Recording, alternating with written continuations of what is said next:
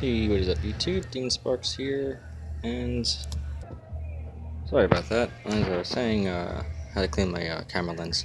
Uh, it's Sparks here, and today I'll be showing you guys the uh, little DIY of the Xbox 360 to a power supply unit, or a benchtop power supply. And what you'll need to do is first splice off your plug, and you'll have a bunch of yellow wires and a bunch of black wires, one red and one blue. Your red and blue are your signal wires, and you want to keep those together if you want your supply to turn on and give you and provide the 12 volt.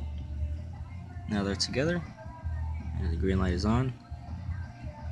Or off. Now it's off. And hold on a second. Alright so welcome back. And the power supply is still on and feeding 12 volts. And I have my meter set to 10 and it's on DC and I really shouldn't be doing this bare but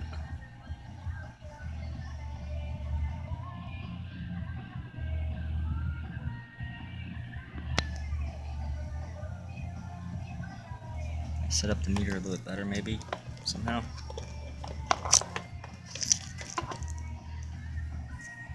I knocked the wire off.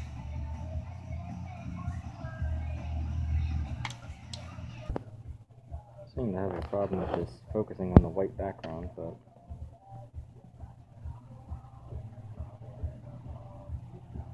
ten volts, or actually, uh, it's twelve volts, and yeah that's pretty much all there is to it. So I'm going to wind up putting some 8 gauge power wire and shrink tubing these uh, the power wires on here. And that's pretty much about it. The fan's blowing. Can't hear it or see it, but it's working.